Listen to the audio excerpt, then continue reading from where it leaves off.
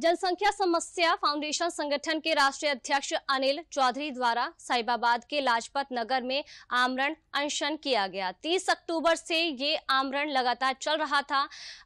जहाँ अनशन को 22 दिन पूरे हो चुके थे। गाजियाबाद में केंद्रीय मंत्री गिरिराज सिंह पहुँचे। गिरिराज सिंह ने मंच से अपनी बात रखी और जनसंख्या फाउंडेशन के राष्ट्रीय अध्यक्ष अनिल चौधरी को नारियल पानी पिलाकर उनका अनशन समाप्त कराया। जहाँ केंद्रीय मंत्री गिरिराज सिंह ने कहा कि जब यूनिफॉर्म सिविल कोड की बात होती है, कांग्रेस पार्टी के मुख्यमंत्री लोगों को भड़काते हैं।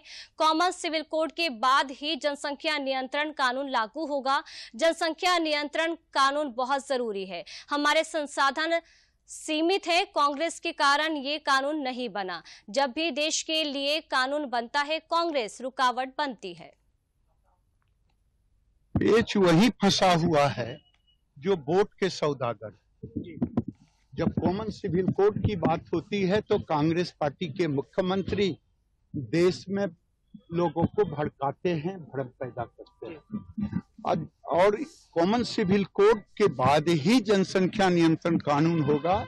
और ये जनसंख्या नियंत्रण कानून देश के लिए ज़रूरी है। हमारे संसाधन सीमित हैं। हर साल हम दो इजराइल पैदा कर रहे हैं, बच्चे पैदा हो रहे हैं। इसलिए जनसंख्या नियंत्रण कानून, मैं तो कांग्रेसियों से पूछता हूँ कि आप क्यों भटकाते हो, लटकाते हो? आज देश में अगर ये कानून नहीं बना केवल कांग्रेस के कारण।